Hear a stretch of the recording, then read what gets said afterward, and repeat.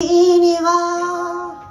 誰かを知らず知らずのうちに傷つけてしまったり失ったりして初めて犯した罪を知る戻れないよ昔のように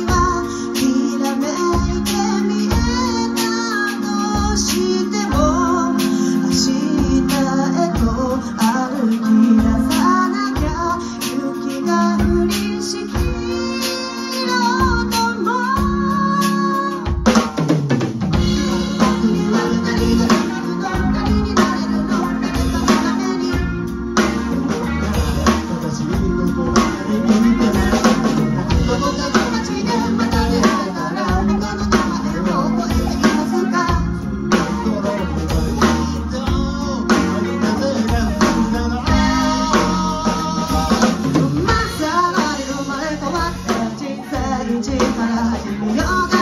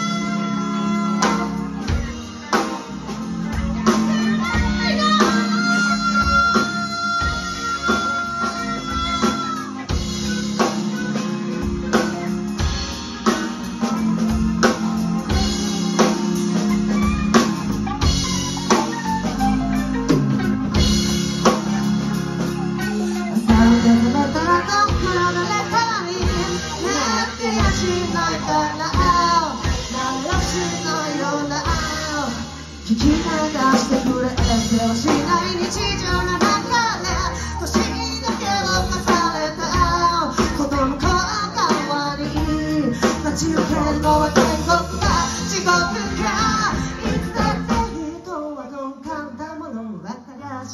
の中それでも